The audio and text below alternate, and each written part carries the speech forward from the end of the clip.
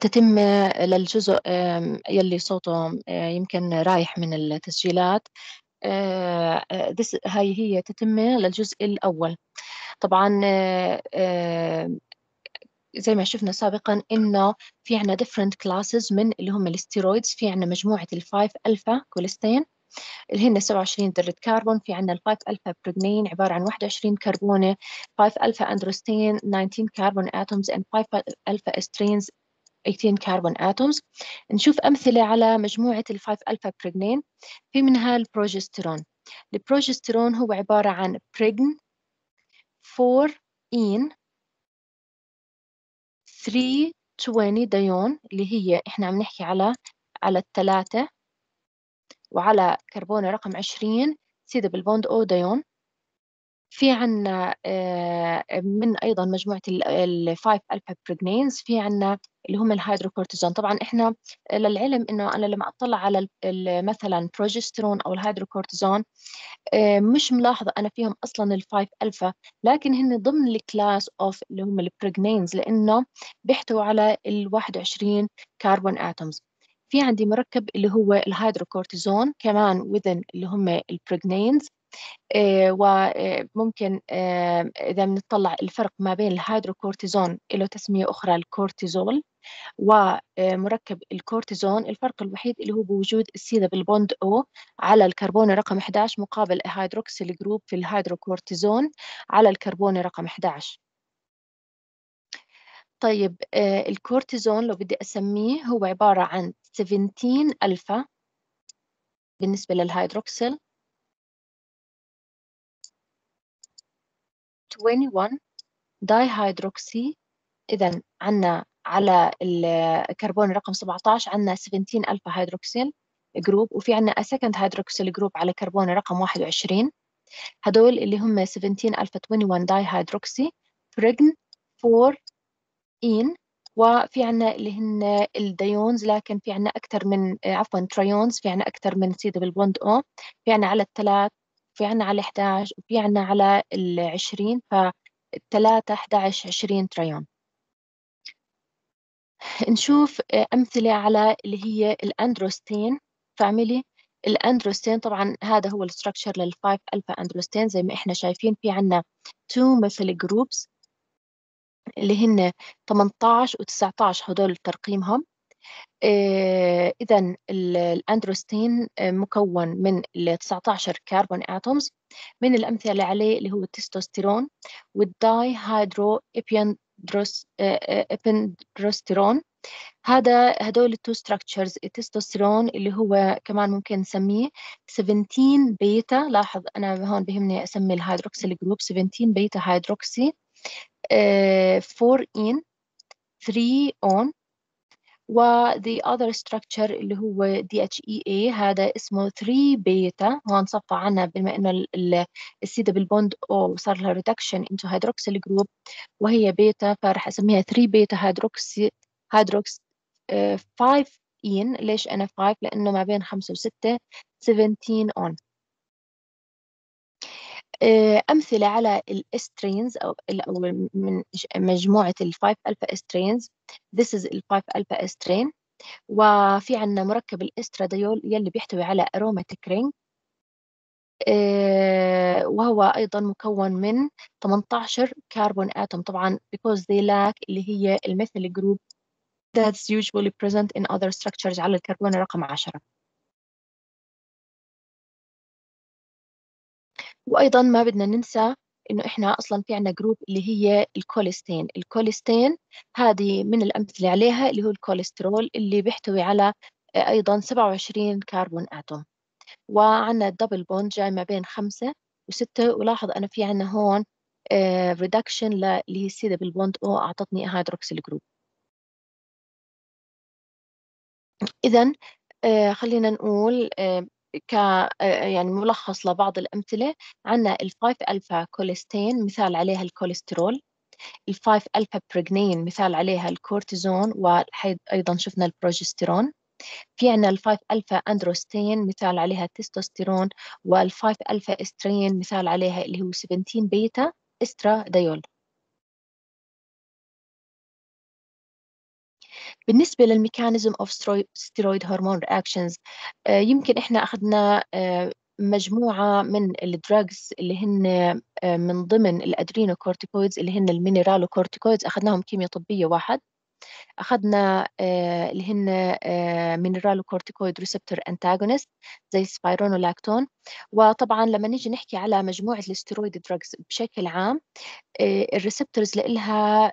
ال nuclear receptors ال nuclear receptors موجودة إذا بالسيتوبلازم أو داخل ال nucleus و once إنه ال ligand بترتبط فيها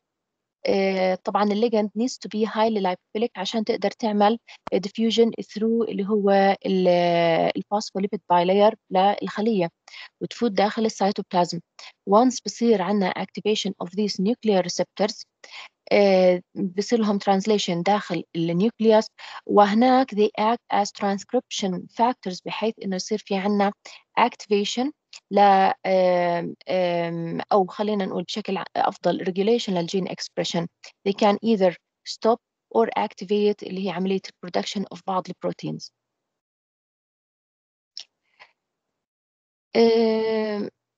ك metabolism بهمني أعرف جزئية من ال metabolism طيب إحنا هون بال structure يلي إحنا شايفينه في عندنا مركبين في عندي الكورتيزول على إيدنا اليسار وفي عندي الكورتيزون على إيدنا اليمين. Again الفرق ما بين هدول two structures اللي هي C double bond O versus hydroxyl group على C11 طيب إحنا ال active compound that binds to the receptor بيعمل له activation هو عبارة عن الكورتيزول. كورتيزون هو inert يعني ما بيعطيني activity. ما بدي أقول إنه هو inactive لأنه هو can be easily transformed into ال active compound cortisol. وإذا إحنا بنلاحظ إنه آه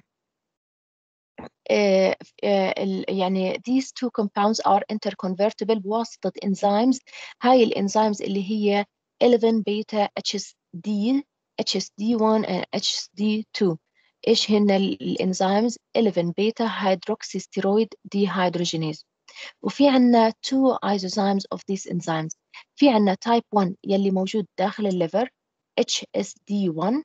وهون عندي مبين عندي بالصورة كمان HSD1 وفي عندنا type 2 اللي هو موجود في ال kidneys.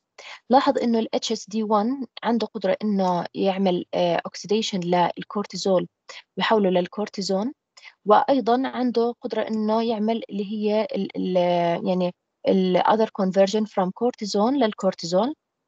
so it is bidirectional مقابل ال HSD1 هو unidirectional فقط بيعمل inactivation اللي هي الكورتيزول وبيعطيني الكورتيزون طبعا في له pharmacological effect اللي هي um, type 2 has an important role in the rapid metabolism of hydrocortisone بيعملوا inactivation preventing its binding to the mineralocorticoid receptors اللي موجودة في الكدني tissues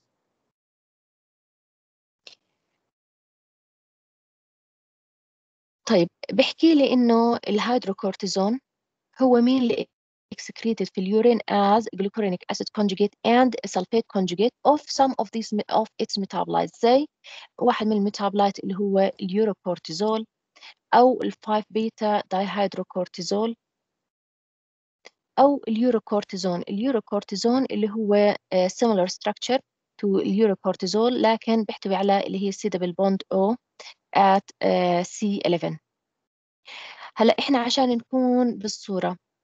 كل ال biologically active glucocorticoids لأنه هلأ إحنا ال focus عنا على ال glucocorticoids كلياتهم they need to have ال C double bond O على الكربون رقم 13 آه عفوا على الكربون رقم 3 the 3 keto group 4 5 double bond هاي ضرورية. وطبعا أيضا إحنا بنعرف a cortisol إجباري إنه يحتوي على اللي هي ال OH group عشان يعطيني activity. ورح نحكي إن شاء الله بعدين إنه ال ketol group على كربون 17 ال beta ketol group beta لأنها جاي باتجاه الناظر out of the plane. فهذه ال beta ketol group كمان essential for the activity of glucocorticoids. ف إذا بنلاحظ إذا أنا عندي ال structure اللي هو الكورتيزول which is an active compound it can be converted into الكورتيزون which is inactive ال C double bond O على ال C 11 بطل المركب يرتبط بال receptor يعمل له ال activation وهذا التحويل من خلال انزيم ال 11 beta hydroxysteroid dehydrogenase في عنا the other enzyme which is the 5 beta reductase من اسمه لاحظ إنه بيعمل عنا reduction على ال double bond اللي هي ما بين 4 and 5 وبالتالي نشأ عندي مركب اللي آه، آه، آه، زي ما إحنا شايفين عندي 5 beta dihydrocortisol 5 beta dihydrocortisol since انه هون أنا صار في عندي difference في ال geometry وبال structure بشكل عام مقارنة بالكورتيزول فهذا المركب inactive أيضا. اذا ال inactivity نتيجة إنه اختلاف شكل ال ring بشكل عام وأيضا ما, ما ننسى إنه أنا ال fusion ما بين rings A and B هلأ صفت عندي يا cis مش trans نيجي نشوف اللي هو third metabolite اللي مرسوم عنا إياه هون اللي هو ال urocortisol. ال urocortisol لاحظ إنه صار في عنا على ال three position صار عندنا اللي هي reduction لل C double bond وأعطاني هيدروكسيل كمان this is an inactive compound. It can form um, um, uh, uh, as far as I know, it can form both either the 3 alpha or the 3 beta hydroxysteroid عشان هيك هون مرسوم عنا فقط اللي هي the 3 uh, uh, beta أوكي لكن ممكن يعطيني both 3 alpha and 3 beta uh, hydroxy metabolite كل هدول they terminate the glucocorticoid activity of cortisol وبالتالي رح نشوف هلا ان شاء الله انه وحده من المشاكل الكورتيزول انه هو عباره عن short acting compound بسبب اللي هي different metabolic schemes uh, يلي بتعمله deactivation طبعا هذه كمان ال metabolic scheme of cortisol كمان further uh, خلينا نقول metabolic reactions على المركب. عندي ال active compound كورتيزول زي ما حكينا. هلأ تحوله لكورتيزون بيعمل inert compound وفي عنا اللي هي ال 6 beta hydrocortisone still كمان inert compound. والسبب اللي هو وجود C double bond O على C 11 آه، لكن آه، في المقابل بالاتجاه الآخر the 6 beta hydrocortisol is يعني uh, active compound وجود ال hydroxyl group at the 6 position um, ما بتأثر على ال activity of this compound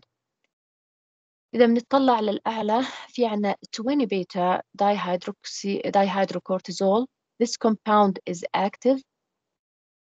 عفوا آه، inactive. وطبعا السبب ال inactivity لهذا المركب إنه أنا فقدت ال ketone group أنا إجباري يكون عندي على الكربونه رقم 20 لازم يكون في عندي C double bond O وبالتالي آه، هذا المركب inactive. Okay؟ okay. similar to this compound اللي هو inactive. باقي المركبات يلي بالأسفل أيضا inactive. يعني مثلا بدي أجي أطلع على ال 5 alpha dihydrocortisol بسبب ال saturation على الأربعة خمسة double bond inactive compound um, uh, similar thing 5 beta dihydrocortisol inactive uh, باقي المركبات أيضا uh, كلها inactive compounds. ورح نحكي على مجموعة حاليا اللي هي how يعني كيف ممكن إنه نغير من ال corticosteroid drugs. طبعا ال corticosteroids أو بشكل عام لما نيجي نحكي هلا. آه، ال focus لنا على اللي هي glucocorticoids they can be given in different ways they can be given inhalational they can be given topical they can be administered مثلا IV or orally يعني ممكن يكون الهدف منهم systematic أو ممكن انهم local effect فمجموعة corticoids آه،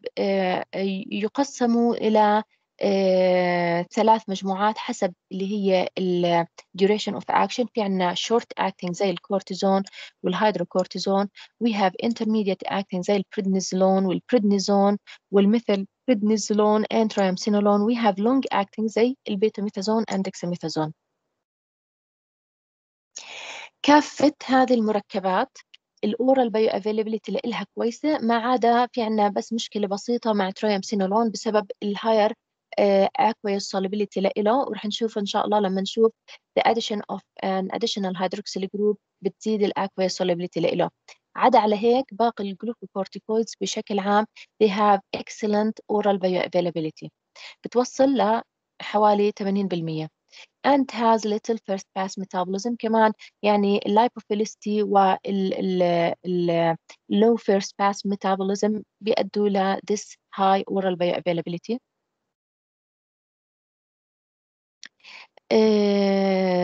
طبعا آه، حتى المركبات اللي هن synthetic أيضا they are metabolized by the liver يعني in a similar fashion to اللي هي naturally occurring compounds glucuronic acid conjugation sulfate conjugation إلى آخره و